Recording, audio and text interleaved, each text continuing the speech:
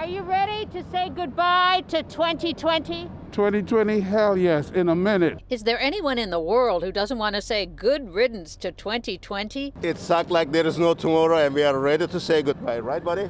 Yes, sir. Absolutely. This year's New Year's Eve tradition will be like none other because of the pandemic. Instead of close to 1 million revelers in Times Square, there will be fewer than 100 special guests, masked frontline heroes and their families in socially distant pens, but with live performances like headliner Andra Day singing Rise Up.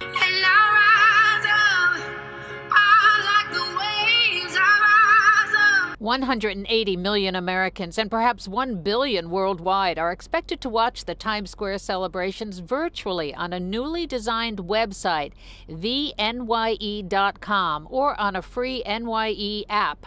Other live performances include Pitbull, Jennifer Lopez, Billy Porter, Cyndi Lauper, Jimmy Allen, Machine Gun Kelly, and Gloria Gaynor.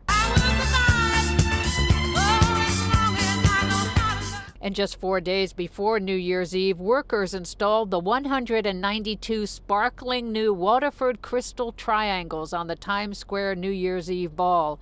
The theme this year, Gift of Happiness. And as people lined up to write their confetti wishes for 2021, top choices included just that health and happiness. 2021 is going to be much better? Oh, it better be. I'm praying for it. That's what I'm writing down.